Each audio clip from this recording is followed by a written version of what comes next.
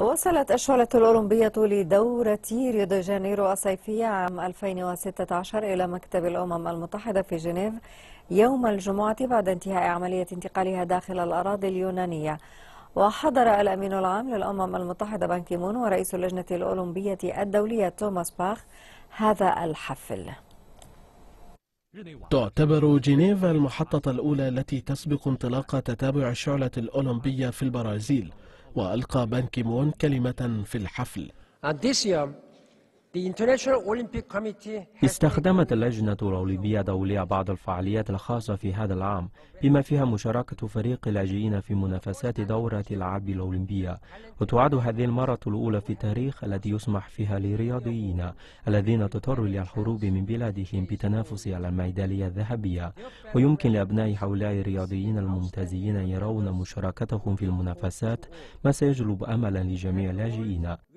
وسينظر العالم إلى هؤلاء الرياضيين بصفتهم لاجئين وقوتهم وهم أبطال مهما كانوا فائزين أو لا. ونرحب بمشاركة فريق اللاجئين في المنافسات وسبذل أقصى جهود لتشجيعهم.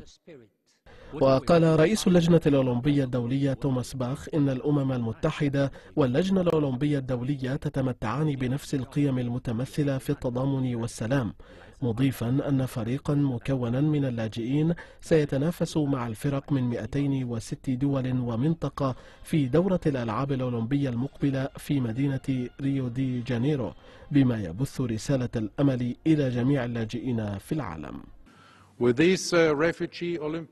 نتمنى أن يبث فريق اللاجئين هذا رسالة الأمل إلى جميع اللاجئين في العالم لأن قيم التضامن والسلام الأولمبية أهم من أي وقت مضى في هذا العالم الهش هذا ومنح باخ في الحفل كأس الأولمبية الذي أسسه بيير دي كوبرتان مؤسس الألعاب الأولمبية الحديثة عام 1906 للأمم المتحدة تقديرا للمساهمة الإيجابية والفعالة لمنظومة الأمم المتحدة في تطوير الحركة الأولمبية.